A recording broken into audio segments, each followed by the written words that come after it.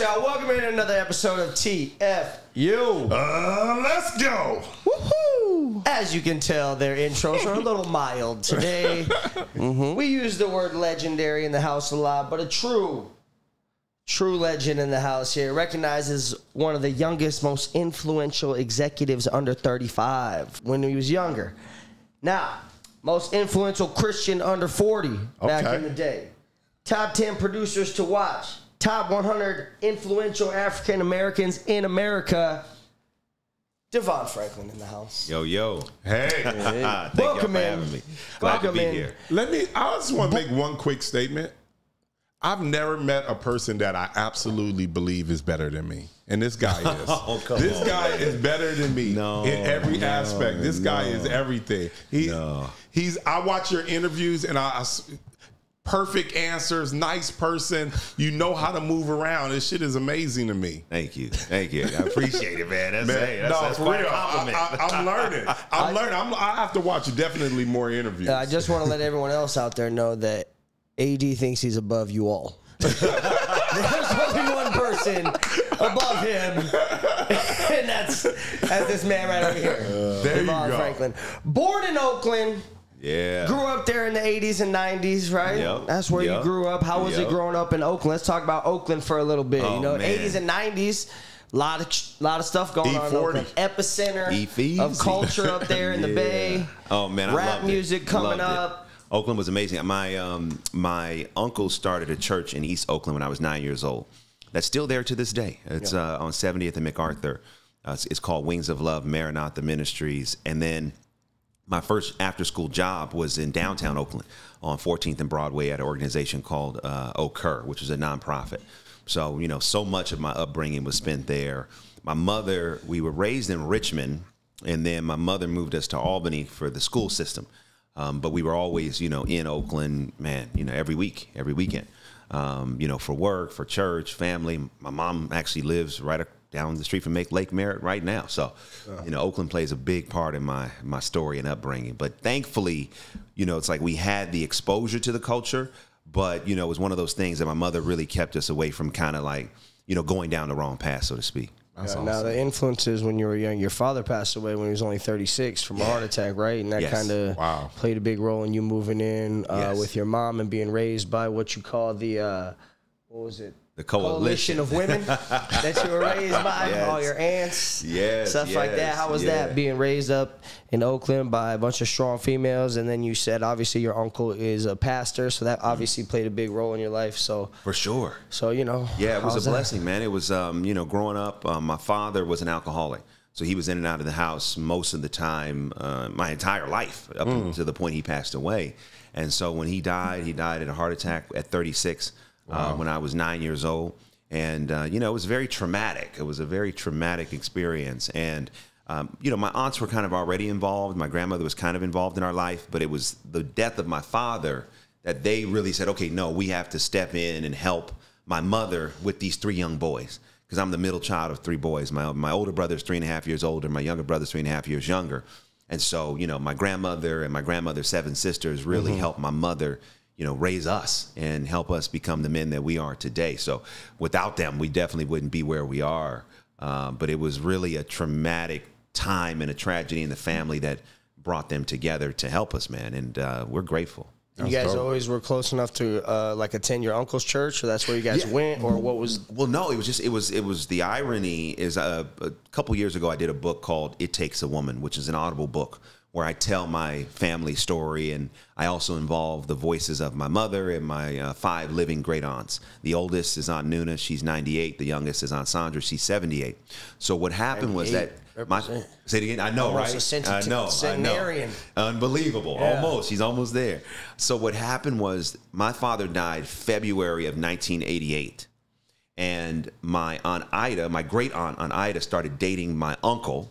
And basically, long story short, is because he had been divorced and she had been divorced, he was a part of the Seventh Day Adventist uh, conference.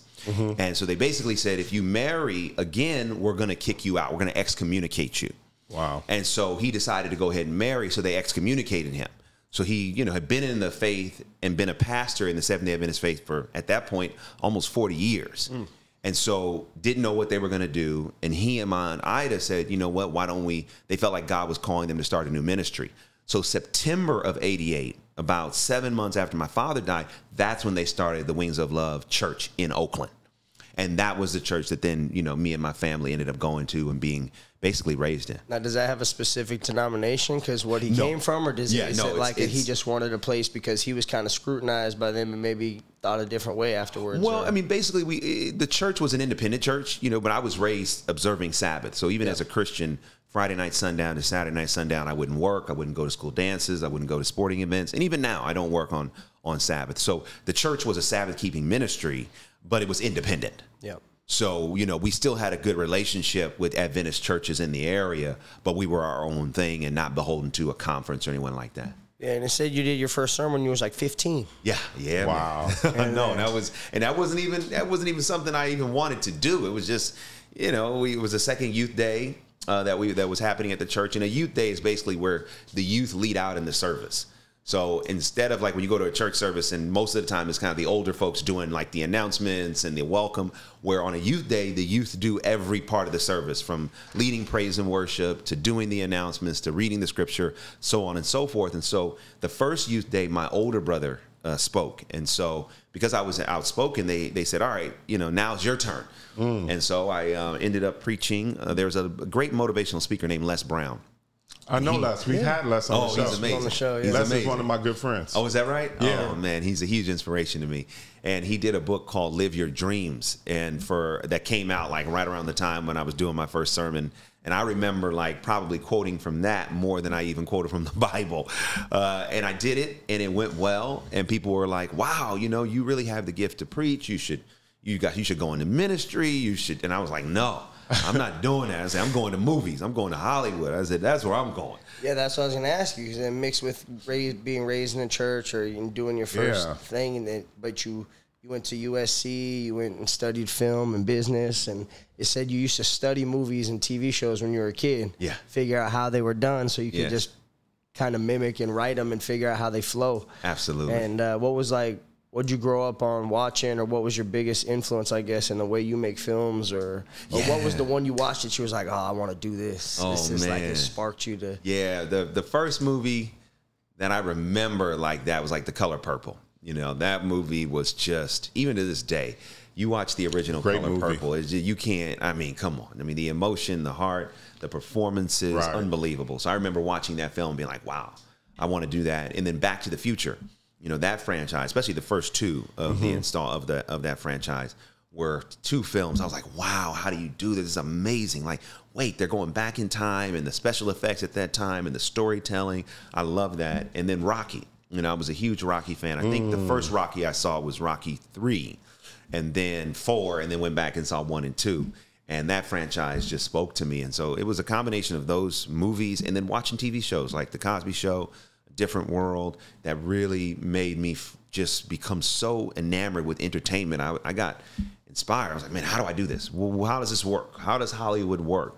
And from a very young age, just started researching it and just, you know, going to movies and looking at the credits of uh, who's writing, who's producing, and just immersing myself in it. So by the time I gave that first sermon, I was clear that I was going to to pursue a career in entertainment. Uh, that part was never in question for me. And you know, my church community they didn't they didn't see it. They were like, well, you know, Hollywood is from their vantage point, you know, Right. an, an evil place, and you're never going to be able to hold on to your faith. And I said, well, you know, I, don't know that it is or it isn't, but I'm going to go find out.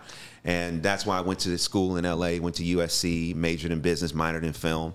And that gave me the opportunity to do my first internship freshman year with Benny Medina, who was, you know, still is, you know, one of the top music managers in the business. And learning the business, you know, trial by fire, you know, was the way that I was able to establish a foundation and a foothold uh, for the work that I currently do. How was it being like a semi pastor in high school though? That had to be like, you know, sometimes Well- that's Well, for for lack of a better word, kind of like frowned on, like you're not cool or something like that. How did you how did you even Yeah, well, well, I mean, I didn't, I didn't, I didn't look at myself in that way, and Oh, even okay. now I really don't. Like, you know, I've been ordained, you know, as a minister, but like, I don't take on. People call me pastor, but I don't take that on because I don't have a local congregation that I'm responsible to. Right. Like my younger brother is a pastor. He now is the pastor of the church that we grew up in, and he is responsible to that local congregation. That is a very different scenario than me, who's you know goes around the world and preaches. Right. But I have no responsibility for that local congregation. Got it. So I never have taken on the moniker of pastor, even though I do minister, even though people refer to me as that. I understand why they do, but for me personally, until I have a, a church or a congregation I'm responsible to, I will not take that on because I have too much respect for it. And in terms of being younger, I never thought about it that way. I just was in the one in the group that always was outspoken about what we should do, what we shouldn't do, how we should move. And so everybody came to me for advice and whatnot. And and yes, I was not. I was looked at as cool but square. You know what I mean? Because I wasn't drinking, I wasn't smoking, I wasn't doing nothing. You know what I'm saying? Except you know, I was playing basketball, working after school job. You know, president of the student body, doing well at school, and that was just my thing. Like I didn't really, you know, it wasn't a there was not there was no pressure there. It was just That's me cool. being who I was and being cool with that, uh, and not allowing anybody else's expectation to uh, disrupt my own expectation. Got That's it. what I was gonna ask you if you was like really into the books and studying because I also like when did you uh, apply to USC? Like 96, 97, something like Get that. 95. 95. 95, yeah, 95. Yeah, because yeah. I read something too when I was looking up USC and trying to figure out some stuff um, that they cut their tuition by like half the students. They were only accepting like half the kids that applied for the first time in like '97. So it must have been super hard. Yeah, yeah, for yeah, one yeah, yeah. To get into It that was- and to get into the film program, and like so many people went to USC. So who influenced you while you were there at USC, or did you meet anybody in the film department, or did do people come back? Like, because I know Will Ferrell went. Like everybody went to USC. For Well, here's the interesting right? thing about that. I got rejected from the USC Film School as an Hmm. undergraduate major. Originally, I wanted to be an undergraduate major. I applied. They didn't accept me, but I did get accepted uh, into USC through general admission. So I decided to go ahead and take, you know, general admission. And then while I was there, I decided, well, look, uh, what's my next best passion? It was business. So I decided to do a business major and do a film minor. Because I wasn't a film major from freshman year, I had more time. And that extra time I devoted not only to a work study job, but also my internship. Got it. And that internship was the the I mean, every job, every opportunity I've ever had goes right back to that internship. So it was a blessing. Overbrook, right? Uh, well, I mean, Overbrook and Handprint and all the things. I mean, my relationship with Will, my relationship with Benny. I mean, everything goes back to that internship. And if I was a film major, I would have never had the time to devote to an internship, and I probably wouldn't even be here today. It So, it was an internship for a bigger company that you worked for all these other companies, or it was multiple internships through just throughout your. it was just that one internship. I interned freshman and sophomore year for Benny, uh, and he was, uh, and, and that was at a company called Handprint. And then my junior year, Will Smith and his producing partner James Lassiter started Overbrook Entertainment. I was their first intern. I interned for my junior, senior year, and then I graduated, and I was an assistant for James Lassiter for two years. And then uh, I left there, became a development executive for Tracy Edmonds for about a year and a half. And then I became a studio executive for MGM. I've worked on Be Cool and Beauty Shop. And then a year and a half later, they got sold to Sony Pictures Entertainment. And I became an executive there and was uh, was there for 10 years. So, Yeah. you know, that one internship, I just kept parlaying it into these opportunities. And when you had the job at MGM, and then there was like they said it was out of nowhere, basically that they were bought up by Yeah. Sony Columbia. Yeah. How did it was like the transition easy? Did you feel like shit? I ain't gonna have a job, or like how did it feel for Yeah. when people were buying up a company? Yeah, man. Listen, it, everybody was getting you know paid out of their contract, so I, I didn't know what I was going to do. I, I I had no no plan. I I wouldn't say I was like super worried. I just I was like, well, I don't know. Know, I will see. And then and then you know I don't know. It's just you know it's just the way that God works. Like I was sitting in my office and one of my bosses uh, says, hey, you know, come down to my office. I'm like, okay. I go down to her office and she shuts the door and she says, listen you know, I just got off with Amy Pascal, who at the time she was the chairman of Sony Pictures Entertainment, and she said, um, "Don't worry about a job. You and I have jobs when this deal closes." That's never, cool. ne- never met Amy, never had to apply, nothing. It was just me being me. And however, Amy was like, "Oh no, no, we need him here." So let him know, don't look, we got you. And so that made the transition smooth. So I got paid out of my contract, which was nice. And then uh, a few months later, was able to start as an executive working at, Colum- at Columbia Pictures was the main division for Sony Pictures Entertainment. And the irony is that Sony was the main funder of Will's company at the time. Yeah. So you know, I went from being an, a former intern and assistant that worked for him to then being in the, the one of the studio executives working on everything from Pursuit of Happiness, Seven Pounds, Hancock, uh, Karate Kid, After Earth, and so it was just amazing that it all worked out that way. Right. What was your What was the funnest one to work on? I guess with them or like the Oh, Karate Kid was amazing. Karate Kid? Because it was the first movie that was made, American movie made in Beijing in like, at that time, in like 20 years. So going to Beijing, you know, I was in, I was there. I made about nine trips over the course of a calendar month. And just the culture, the people, the experience, it was, it was amazing. How is it? How is Jackie Chan perceived over Oh, there? oh, Is he- it like he's just? He is, is, it like crazier than anything you you've seen don't- here? You, you know, you don't even know what fame is. Yeah. Like, That's you what I don't heard. know. That's what I heard. Yeah, Until you see Jackie Chan Yeah. in China, you don't know what fame is. And his, uh, th- they would call him Da Ge, which is kind of like basically like, um, you know, like a god. You know what I mean?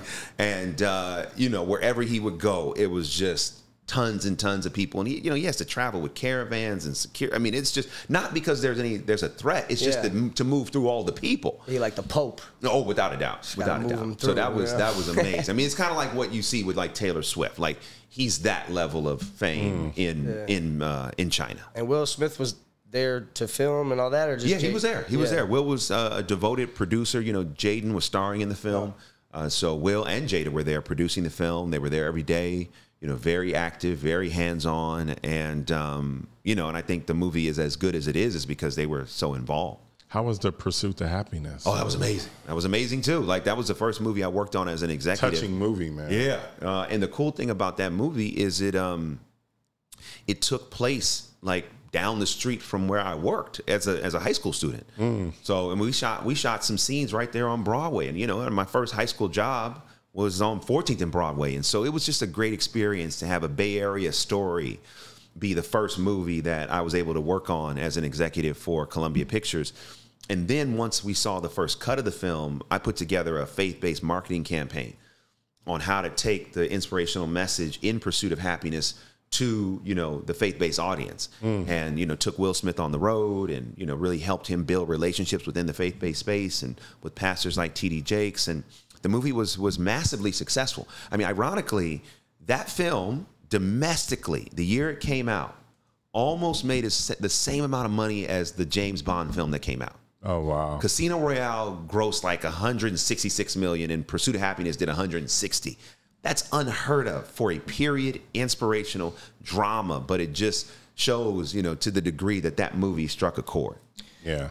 Do you ever feel? Um, well, never mind. I'll ask that question later, to be honest. But it said when you were doing that one, they said that's what kind of like inspired you to do films that touch people and and you know build emotions and stuff Yeah. like that. That was like the turning point for you, where it's like that's what I want to do. That's what I want my focus to Yes. be. And then did that take you into more like faith based films, I guess, or trying to come there? Um, Because no, no, it, it didn't. It didn't. I mean, I- you know, going back to preaching, so you know, I preached my first sermon at 15, but I never wanted that to be, you know, my profession. But I still would do it. Mm-hmm. So then, when I graduated college, my uncle, who was the pastor, asked me to start coming up once a month to preach. So while I was pursuing my career in entertainment, I still was going up to Oakland once a month to preach. And so I did that for 10 years. So while I'm climbing the ladder in Hollywood, I'm still doing that. So when it came to Pursuit of Happiness, it was the first movie where it was like, oh, these two worlds work together. Because over here, you know, when I'm preaching and I'm preaching is really a lot of it is sermon. I mean, stories, you're storytelling. Jesus was a great storyteller. So um, I'm impacting people's lives with stories. Well, a movie is just a visual story. So it was the first opportunity where I was like, oh, I actually can put these two things together. And I never even from that moment, I never thought about faith based per se. I just said, oh, I just want to find films that speak to me that I can help improve someone's life with and inspire them. And so that that pursuit of happiness was the catalyst to look for more content that could be done um, in that way. then you open your own uh, company, Franklin Entertainment, Yeah. right? And then one of your first films was Heaven is for Real, Mm-hmm. $12 million budget, gross over a 100 million. Yeah. Well, that's that Faith-based was the film, last so- film I did as an executive. So I, I Okay, bought okay. that book and Yeah. oversaw that book and developed that book. Uh, Joe Roth and T.D. Jakes were the producers, and yeah, I mean, we made it for fourteen million dollars, and uh, they didn't they didn't And you made a hundred million. It made a hundred million. It made a hundred million worldwide. Yeah. So everybody had to give you a deal after that. Everybody should have been beating down your They door. were. They Fourteen to were. hundred. Oh yeah, no, it was it was unprecedented. Like, like even to this day, it's still one of the highest grossing faith based movies ever. Who are And, you uh, associated with now as far as corporations?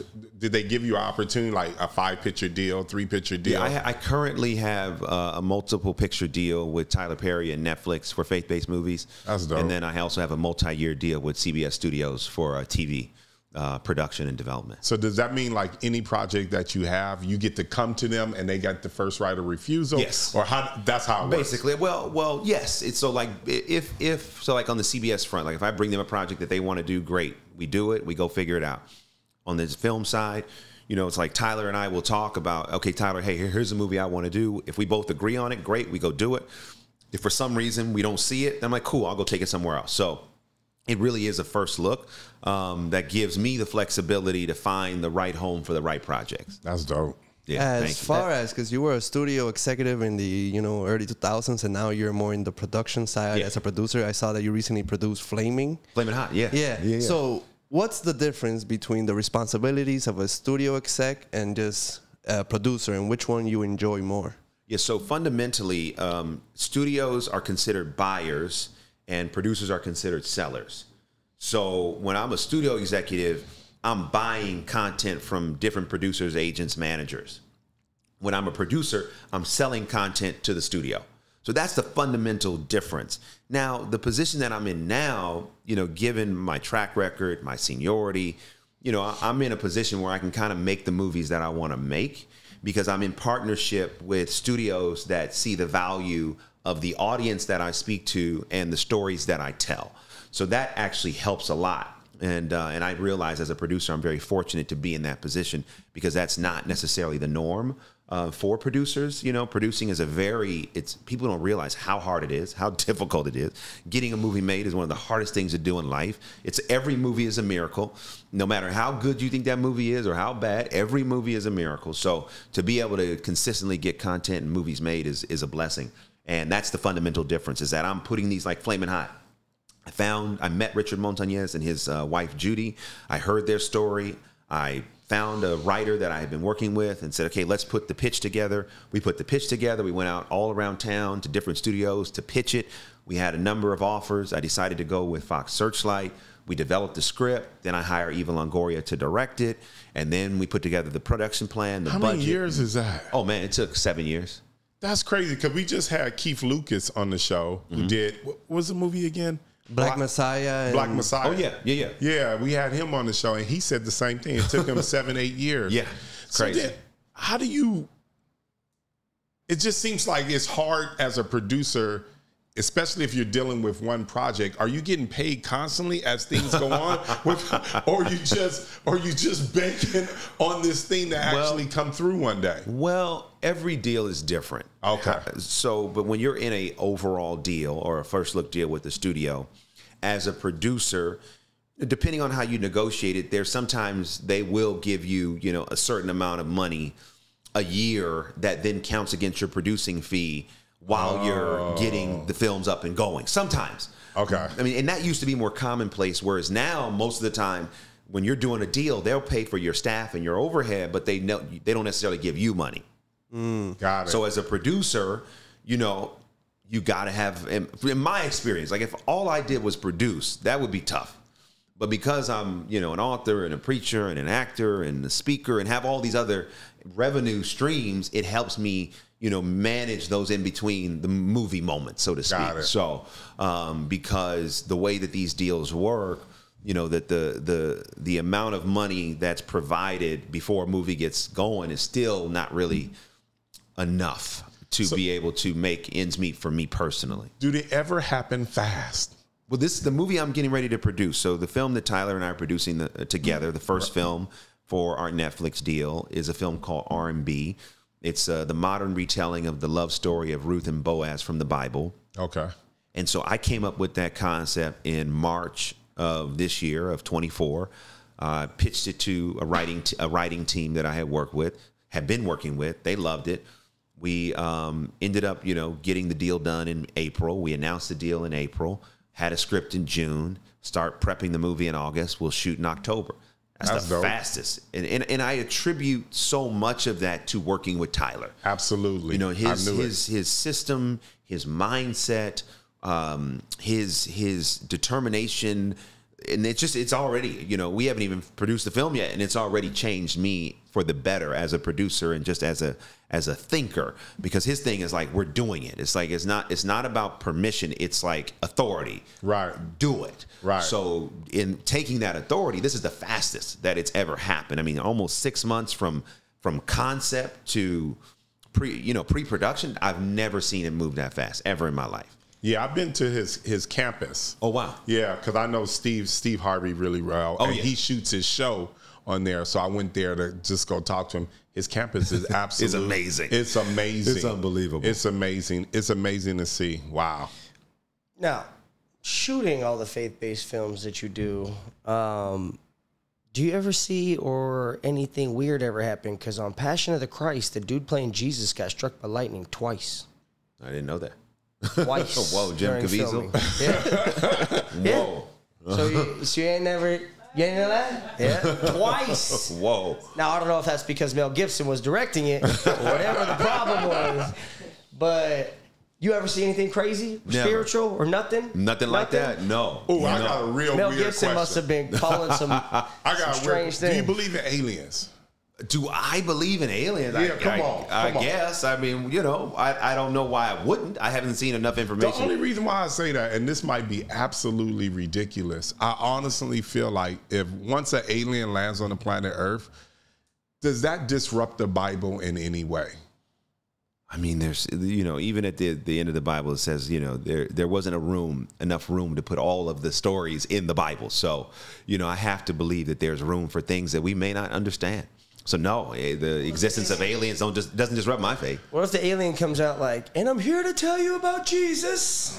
And it's like the same story. You know what I mean? Maybe they got the same story. They come down. It's like, yeah, we just talking You about. never know. You never know. That's know. a perfect answer. Here's my other question though, in that sense, is like, do you think that I don't think it disrupts it because it just you can just expand it now and be like, well, Ah, it messes it like- messes it up for me. You don't you think God just created one like tiny marble? No Messes way. it up he for had to me. be bored after those seven days or whatever and be like, "Ah, Ah, I'm gonna do another one. and then just threw it out further in the galaxy. I say like he checks in on his plants, you know what I mean? He's like watering his plants. He's like, "Oh, I got a cactus over here, I got some succulents over here. He's like growing these worlds, you know what I mean? He can't be up there just bored with our world. That shit's like boring. Mm. Don't You know what I mean? That's why I, get, oh, I got to get back to them. They got questions. You know what I mean? It's I hard to get answers. His ways are not our lot of- ways. His thoughts are He's not got our a lot of thoughts. plants. You know what I mean? You know, trying to understand God, that's an eternal process. So, you know, all things are possible to those who believe. So I, that leaves a lot of room for a lot of things that I may not understand. Now, what about you know the Bible very well, right?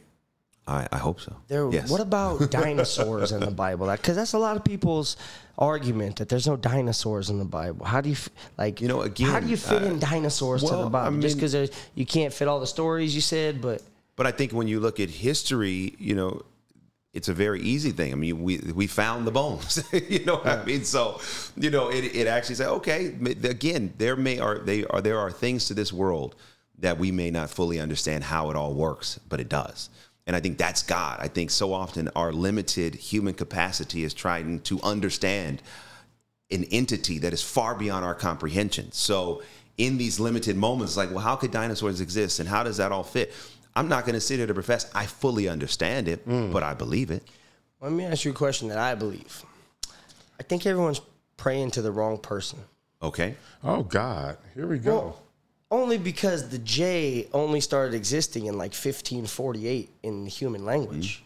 So if you're praying to the wrong name, then who knows who you're actually praying to? So when people say Jesus, his name was not actually Jesus, and you're not supposed to translate Yahweh. names like the number one rule of trans. Yeshua. Tra- Oh, you. That's how you. pron- That's Yeah. how you Yeah, pronounce. Yahweh is more in reference to God. yeah, Okay. yeah, Yeshua, which translates to none other than Joshua. I'm just saying, but. Mm-hmm. His name is Josh. if we're yelling out Jesus, if we're yelling out Jesus all the time, that's like a Roman translation of his name that means something else. It's not his actual name.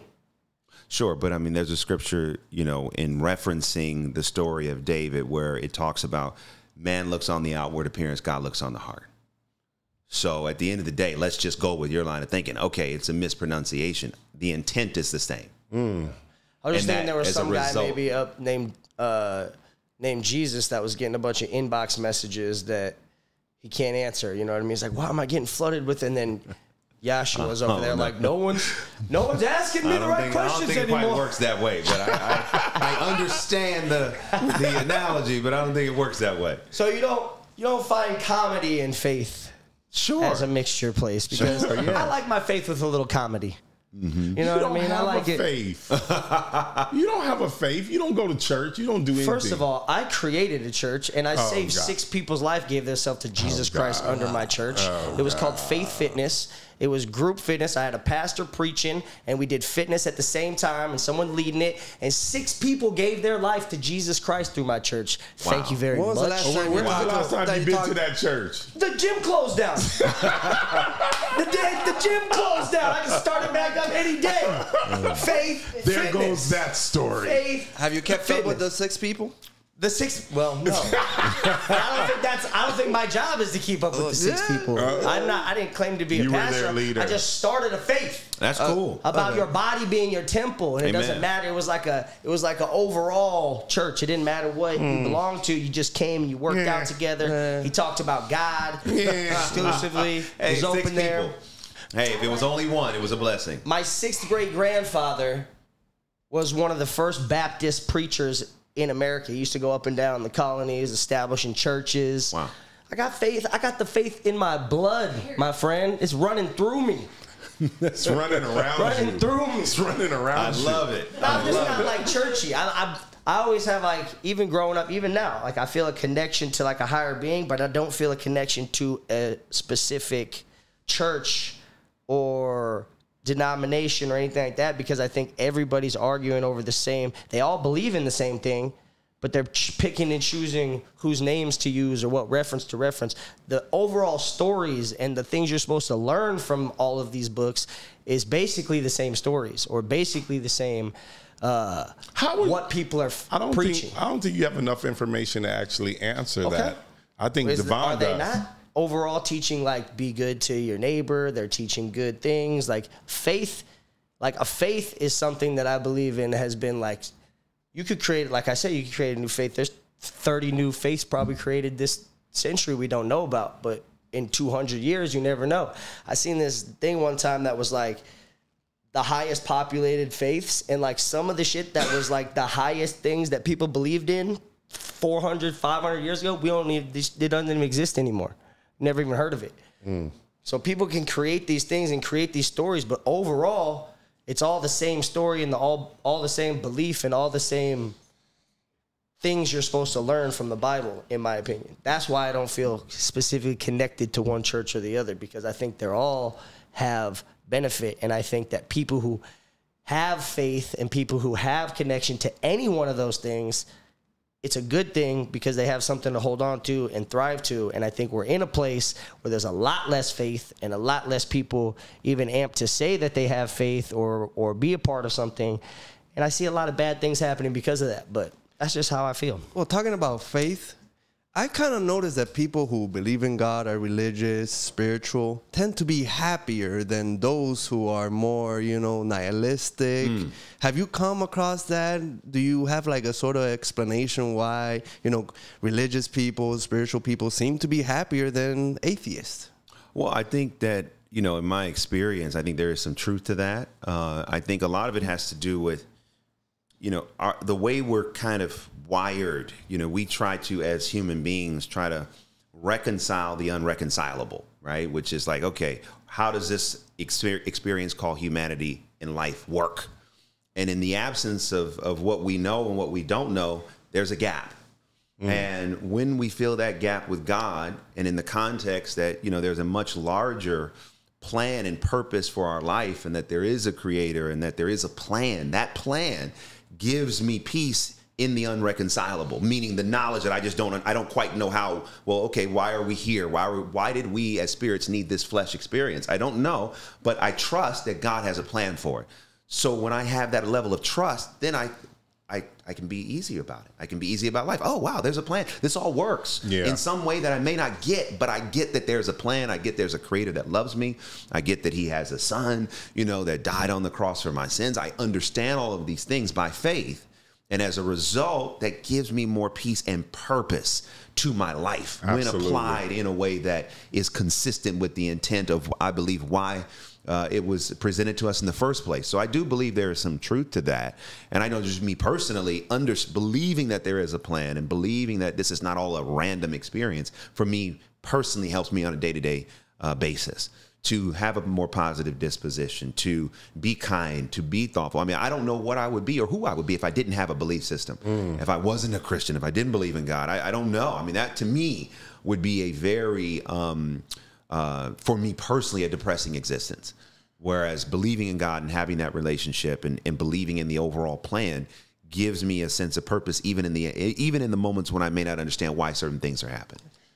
The one thing I noticed, like when I was a younger kid, I kind of my parents kind of grew me to well, I was put into the Islamic culture, mm-hmm. like when I was really really young, and then my parents just kind of stopped practicing for whatever reason, and my grandmother used to take me to church every single weekend. She would grab me. Hey, we're going to church, and but mm. but I noticed about her, she kept visiting different types of churches. It's almost like she was on this quest to find the perfect religion. So my question to you is: How do you know when you find that religion for you? Mm-hmm. Or or is there only one? Or you know, I mean, like, what's the real answer there? Yeah, I mean, I do believe, you know, Scripture talks about, you know, the way to God is through Jesus, and I do believe that, and I do believe that there are many ways people can come to know Jesus, and I also know that some people don't believe that, and God is big enough to handle our belief and our unbelief, and I think that's the part that sometimes, um, you know, as Christians, it's like we get we start to get in these fights, which is like, listen, this is how we believe, and it's okay for us to believe this. There are going to be a lot of others that don't believe that. And we should hold space for that and hold space for them.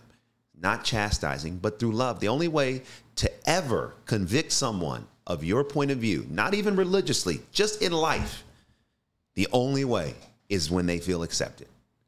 You've never won an argument with somebody who did not see things your way through coercion, through conflict, through arguments. It never happens. When someone feels accepted by you, then they want to listen to you. And so I do believe that Jesus is the way to God. I believe that in the scriptures. And I also understand that there are people that are going to come to Jesus in ways that we may never even imagine or even know about. And that's okay too. So I, I don't, you know, even get in a fight or a discourse. I hold space for people who mm. have different points of view, different walks of life. And in this lifetime, they may never get to a belief system that I have. And that's that's okay. That's between them and God. My job is to love. My job is to accept. My job is to to create room and space that hey, there are going to be people that God allows me to interact with that are atheists, that are agnostic, that are Muslim, that are Jewish, that are all different types, but we're all God's children. Do you believe that everybody can be forgiven though? Like even like these people who commit these heinous crimes and kill a bunch of people, are we really honestly supposed to forgive them? That's where I, I struggle sometimes. Like if someone killed my parents or or did anything like that, I, I found I find that it would be hard for me to honestly forgive them.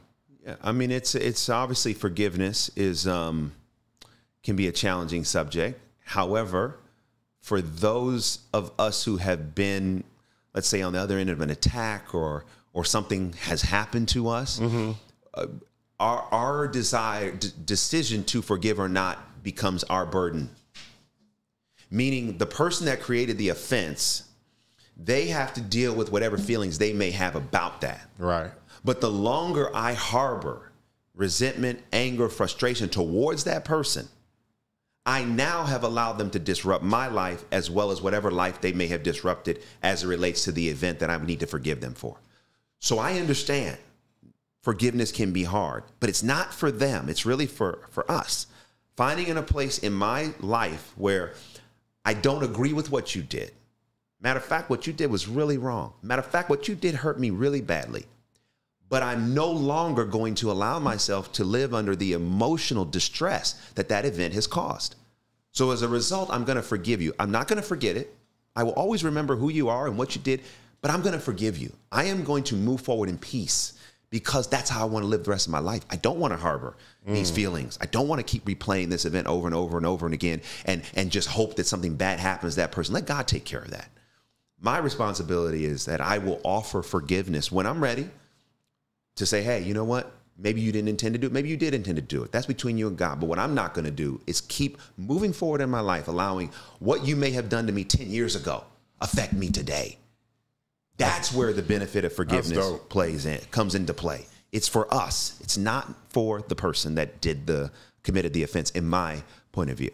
Uh, being a Christian in Hollywood, how is the navigation to uh, through it? Because you know Hollywood is kind of known for you know having a certain type of thought, and they, you know, they're not very doesn't seem like very friendly towards religious people.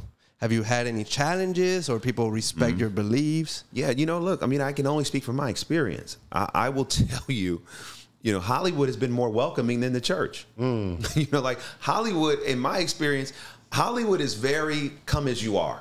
If you are talented and you can become successful, it doesn't really matter. You you know you can be whatever persuasion you want to be. You can wear two left shoes.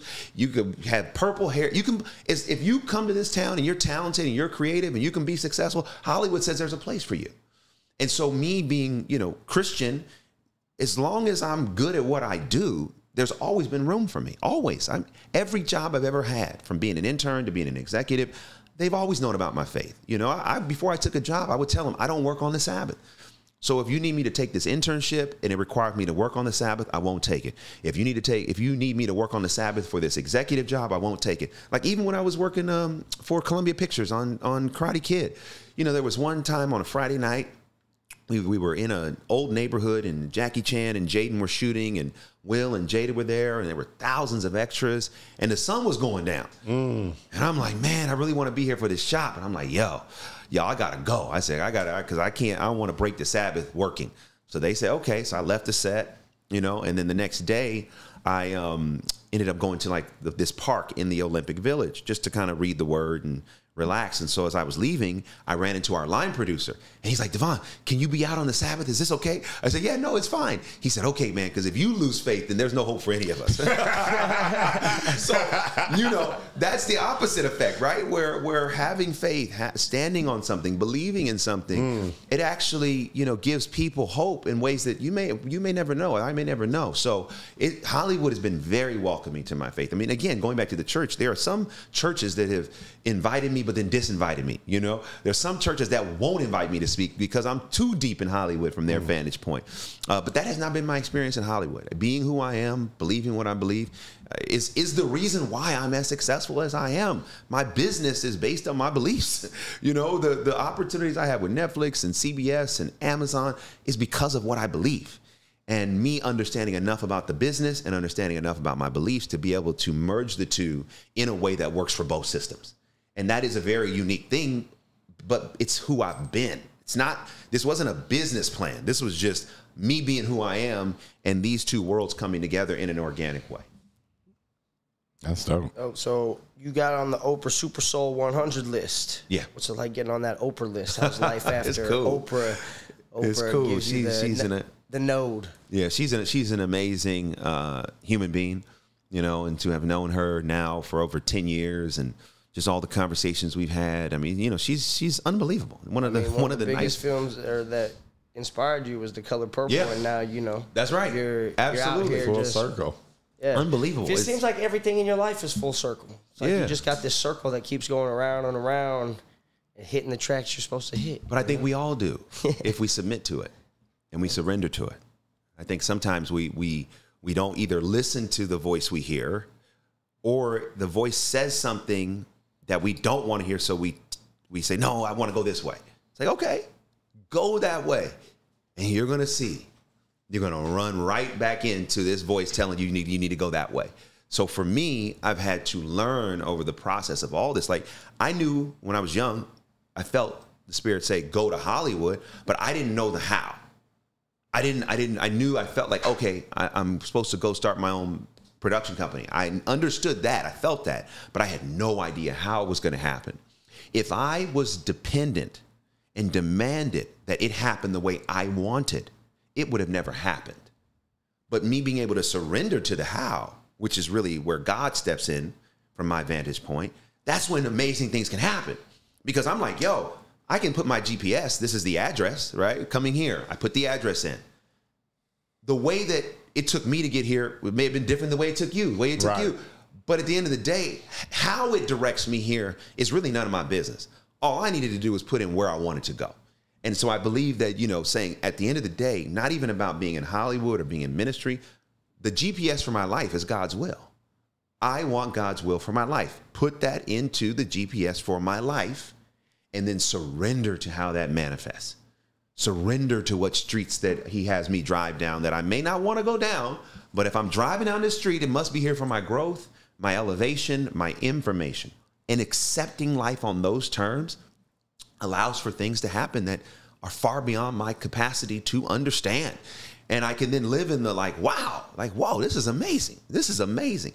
Doesn't come without moments of difficulty, doesn't come without heartache and heartbreak and challenges, but that's part of the journey. And I don't know that I would be where I am personally without those those those moments of difficulty, but it ultimately comes with the process and the belief that it's all underneath uh, God's will, if that makes sense. So, as you were studying the film industry, there's so many positions. How did you know I want to be a producer instead of cinematographer, director? Because I'm, you know, listen, I like to be in control. so I was like, wait a minute, producing and directing are probably the, the two positions that have the most control uh, in the film business. So I'm like, all right, I, I don't feel at the time, I didn't feel like I was ready to direct. I mean, I might direct in the next couple years, but in terms of what I immediately gravitated towards, it was producing. It was like, oh, because going back to school, you know, middle school, I was president of the student body. In high school, I was president of my class. I was I was always in some sort of leadership uh, position, and that's what a producer, a really good producer, is a leader. You know, you're a leader of that film. You're a leader of that story. You're you're a leader of your crew. You're a leader, you know, with the studio. So that was the role that I automatically gravitated towards because I felt like that would be the best um, fit for my skill set and also my level of interest. That's dope.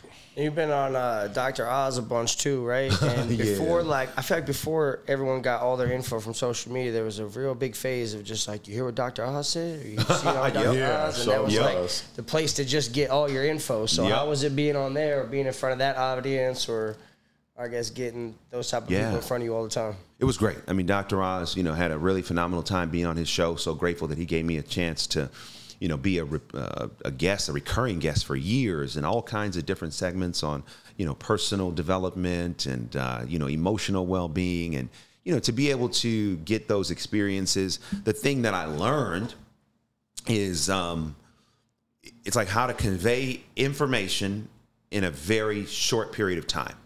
So that really helped develop my chops. Like when you're doing segments of television, uh, you know, for a daytime talk show, you know, let's say a segment is, you know, five minutes.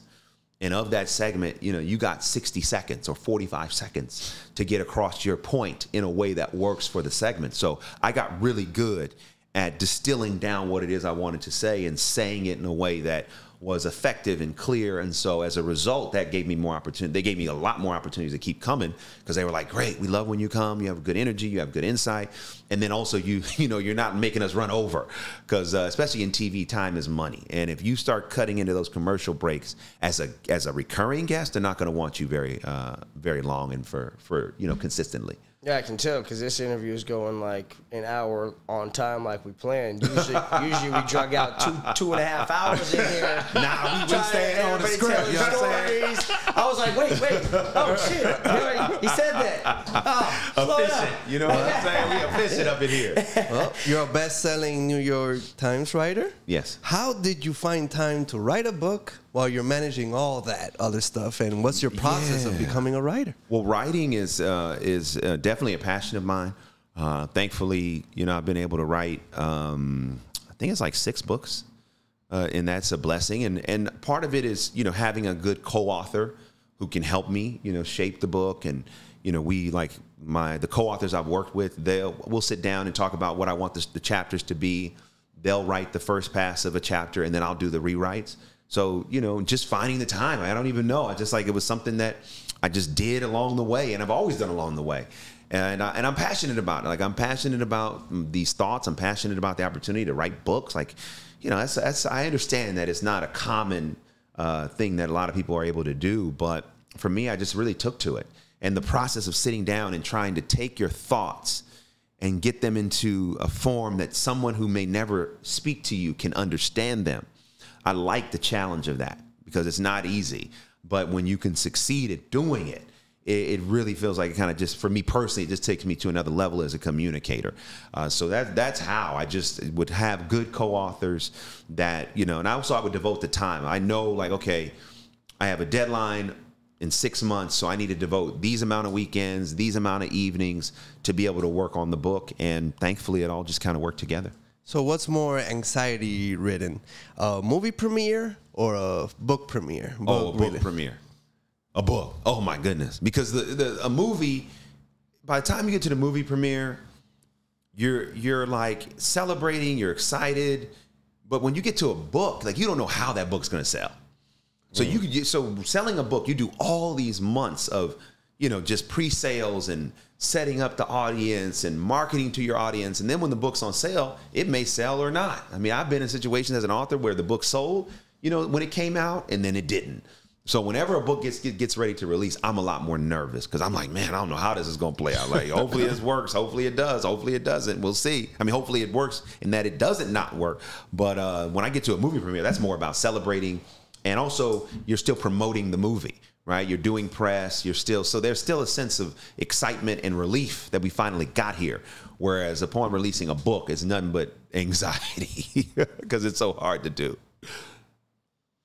Uh a quick question, I guess, when we're talking about atheists and faith in this, and wouldn't if there is a plan for everything and a plan for everyone and a plan, an ultimate plan, wouldn't atheists be in that plan? Of course. Like maybe that's their distinction and that's what they're supposed to do. But if that's what they're supposed to do, then when they get up there and guys like, hey man, you did what you're supposed to do, you was an atheist, then that can't like then that doesn't really work with like you ha- you got to find Jesus before you get in type of thing. You know, again, like we're all God's children, so the nuances of everyone's relationship with God and the permutations of those nuances we'll never be able to, you know, equate for uh, or account for. So I trust that God is operating in the life of of an atheist uh, in the same way He's operating in my life, and maybe there's a point of of belief that we never know about. Mm. Maybe there's a point of, of understanding and acceptance that we're never privy to. So at the end of the day, I have to trust his plan and this experience and experiment called humanity is something we all need it. And we all play a part.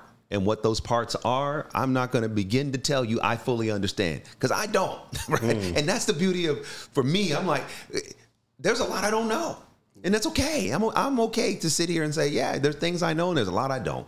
And when it comes to God, every day is is a mystery, and every day I'm learning more. And I believe that's an eternal process because God is far bigger than anything we can comprehend, and how it all works is far beyond our capacity as well to fully comprehend. Do you believe in heaven and hell? I do believe that there is a heaven. I do believe what Scripture you know talks about. I do believe that. You believe uh, there is a hell? I do believe the two go hand in hand. I mean, you know, wow. when you look at the Scripture, Scripture is pretty clear about both. So yeah, I do believe in both. Mm. So, I did, for me, my last question: What was your welcome to the league moment in Hollywood? Like, you know, that type of phrasing. Yeah. Um, probably that moment would have been back when I was interning for uh, Benny Medina. And uh, part of my internship was I would function at, when I was in the office, I would kind of be like his third assistant. And I would drive him around to whatever appointments he would have.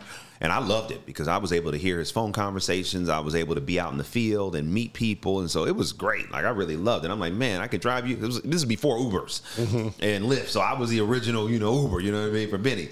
And so there was one time uh, one of his artists was having a, doing a rehearsal for an award show. And so I drove him to the rehearsal, and then the plan was he wanted to go from the rehearsal back to his house to change and then come back to the venue. I said, cool. So the rehearsal was over, and he was like, hey, man, go get the car. I'm ready. I go to the car, and I can't find the key. And I was like, oh no. I looked in my pockets. The car happened to be open. I opened the car. I looked through the car. There was no key. So he's looking at me on the other side of the parking lot, like with a confused look. And I, and, and, you know, Benny is is Benny is is a tough dude. You know what I mean? I don't know how he is now, but back in the day, you know, you know, he, he was very tough. So I go over to him, and he says, "What's the problem?" I said, "I can't find the key," and he just looks me dead in my eyes and says, "Find it." No sympathy, no empathy, nothing. Just find it. so I'm like, oh my goodness. So I go through, I'm looking through the parking lot of the venue. I'm going inside, can't find the key. Finally, I call the office. One of the assistants brings a spare key. But by the time the spare key arrives, there's no time for him to go home and change. So he stays at the at the show in what he's wearing. He wasn't very happy about it. Show is over he's so I get his car after the show to drive to drive his car back home because that's where my car was. And he's in this limo with the talent. So this is the true story. I'm driving his car, about to leave, and the next thing you know, limo pulls up. I don't know who it is. Rolls down the window. Benny's in the limo, and he's like, "Where are you going?" I said, "Oh man, I'm just going into to your house to return your car." And then the window goes up in the limo. He doesn't say a word. So I'm like, "All right, this might it's, this is it. It's over. My job's over. Internship's over. So I drive his car home. I drop it off. I get in my car. I go home, and I just know that I'm getting a call the next day. Don't come in the office. So I never. I didn't get the call. A few days later, I go into the office when I was supposed to be there, and I just work. And one of the assistants says, "Devon, I got something funny to tell you." I said, "What was it?" They were like, um, "You know how you had the whole thing losing his key?" They said, "Yeah." So the other day, Benny was in the office, and your name came up and he said, "Didn't I fire him?" And mm. uh, and one of the assistants said, nah, you wouldn't fire Devon. You like him." And they were like, "Yeah, you're right." And that was it. That was it. So that was my welcome to Hollywood. Like, yo, like when here's the thing. My insurance with Benny was good because I had served him. I had been of service to him. He knew that I was excellent. I was on time. So when I needed a little bit of insurance, I had it. And that was my welcome, like, oh, okay, God, you're not going to do this whole thing perfectly. But I think a lot of times in this generation, people are looking to make withdrawals from accounts they put nothing in.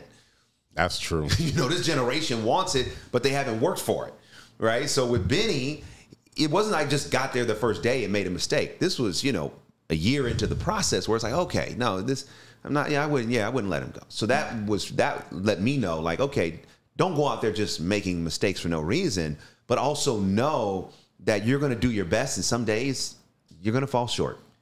And at the end of the day, if you have served and you've been of service, on some level, that's going to be enough to provide some insurance for you. That's dope. And Where was the key?